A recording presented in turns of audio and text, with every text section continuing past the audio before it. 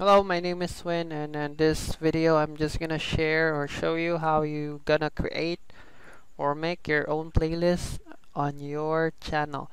So you're just gonna click customize channel and then go to video manager.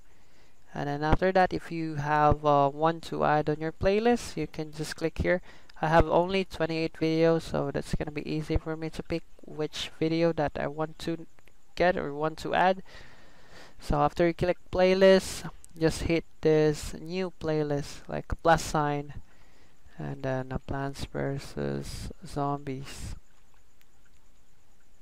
So create and then after that there's no video in it so you need to do is to add video. You can share it you can have playlist settings but but the more more important is you need to add the videos on it or in it first.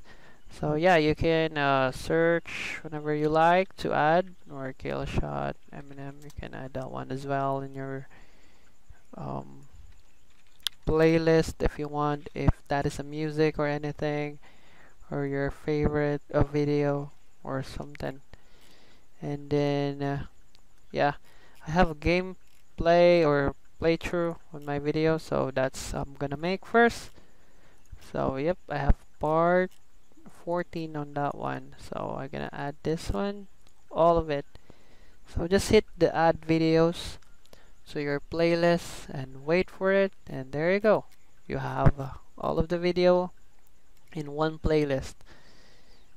And you can check that out.